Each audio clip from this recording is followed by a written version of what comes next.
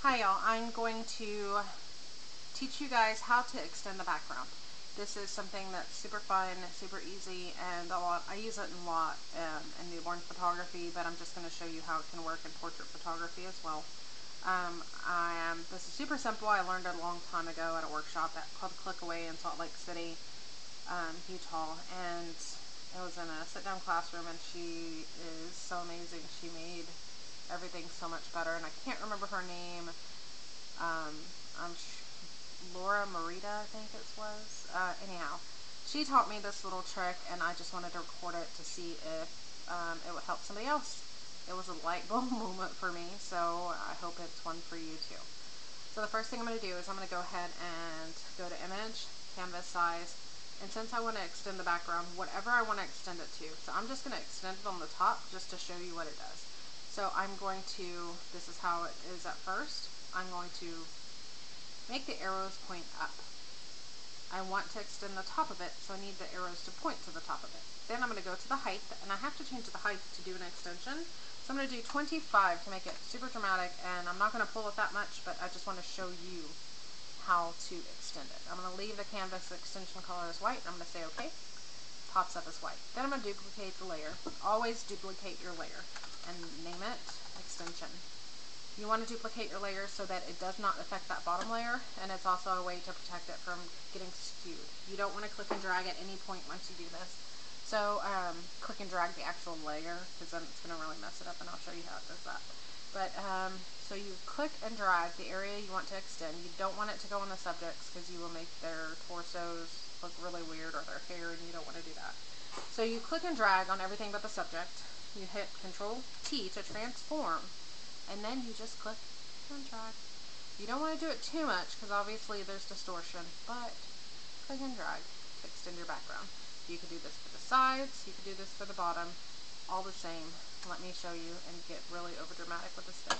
Um, what I was telling you, you don't want to move this because once you have this selected and you move it, it moves your background and everything you worked hard to extend no longer exists. Okay, you don't want to do that. So I'm going to hit Control Z to edit undo.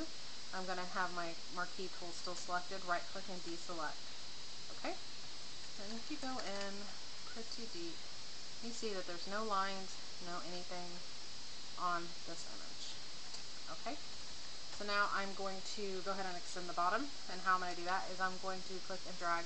I've, you don't see any more marching ants, so I'm going to click and drag the entire image on this copied layer take it all the way to the top because I want to extend this bottom. So then I'm going to get the marquee tool, this is the rectangular one, and click and drag for that bottom, Control T, and just pull down. I want to pull down until the feet are no longer showing because like I said, I don't want to skew the ground too much. Um, but I do want to extend it. So I have it pretty much extended, and the next thing I'm going to do on this one, because I didn't want to extend it too much, is kind of clone this area or, or heal this area um, I'm going to hit control, flatten, and create a new layer so it heals properly because that background is still white. So I'm just going to click alternate, alternate, alternate, um, heal this area just to kind of give it a more natural look. I mean, sometimes it messes up, but this is just a quick version of what I'm doing. Alright, Laura Morita was her name. She was pretty amazing. She did a lot of underwater photography and I really, really enjoyed her class. Um, anyways, like, moment for me on this and deal. I've used it a lot. Okay, so that's pretty badly done, but you get the gist of it. I'm going to go ahead and extend the sides, make it super dramatic for you. Um, since I want both sides extended, um, I'm just going to go one way. Let's say 20, super, super, super ridiculously um, over dramatic here. I'm going to click and drag that copied layer, and I'm going to do the same thing, rectangular, but I'm going to go down. Pretty simple, right? Okay, Control T, and I'm going to pull, and hit Enter, and then do the same thing on the other side. Control T, and I'm going to drag. To use that dramatic. And then I'm going to say OK, and then I'm going to click somewhere else, and this is the extended background. Okay? I'm going to go to history and I'm going to, obviously you can crop this layer, um, this canvas size, you can really, really crop it. I'm going to do the width. I'm going to crop it down to 18 inches and see what it does. Proceed, and it crops it in a little bit more. So then I can click and drag this. Now here's your crop image. Well, you still need more cropped out. So you get the picture, right? Or not. 17 maybe? 0.5? Proceed. Ah, there we go. Okay, so you get the idea. I would remove distractions and all of that fun stuff, but you get the idea of this quick tutorial on how to extend your background. So here is the before, there's the after.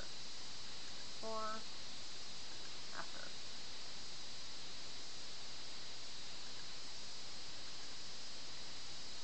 Okay, so I hope you enjoyed it.